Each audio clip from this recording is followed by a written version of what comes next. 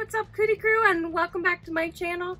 Today is just going to be a super quick video where I'm going to be changing out this jewelry over here.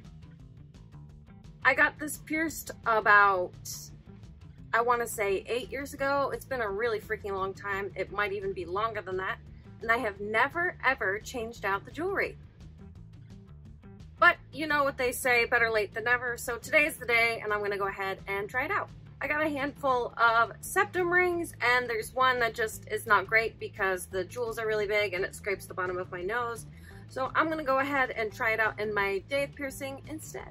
This is a great community and you guys always have some really helpful comments. I know there are a ton of people curious and I've gotten asked so many times if it helps with migraines and I don't know because that's not the reason I got it. Um, but if you had a problem with migraines and got this piercing, please let us know in the comments if you found it to be useful or not, because again, I know there are a ton of people who are curious about it. I'm really stoked to have some bling in there, especially since this ear is mostly naked and only has like three piercings in it compared to this ear, which has like eight.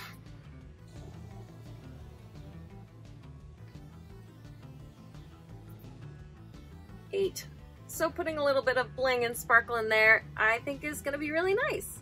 What I currently have in there is a captive bead ring and it's stayed nice and tight in there for this entire time and I hope it's not too terrible to get out.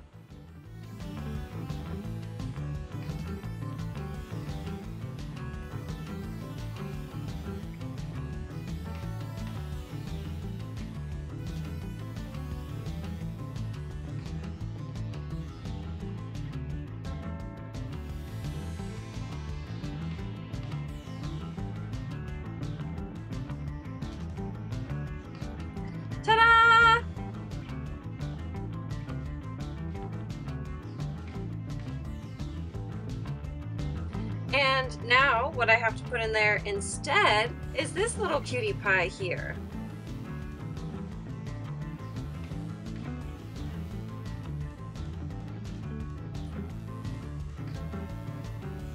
Click.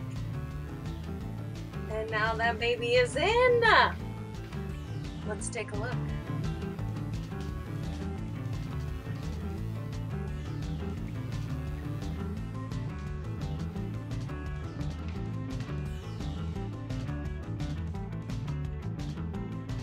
I just realized the AC has been on this whole time and is probably really loud in the background. And if it was, I'm sorry. I'm excited to have this ear blinged out a little bit more. I can't wait to get some sparkly plugs or tunnels for my ears. I just really like sparkle and glitter and shiny and extra. Do you have a daith piercing? Let us know what your experience is in the comments. Thank you guys for watching. If it was useful or, I don't know, you liked watching shiny things, go ahead and give it a thumbs up. Check out the other videos I have on my channel and subscribe if you want to stay tuned for some more videos. Cool guys, thanks for watching. I uh, hope you're all staying safe and I'll catch you next time.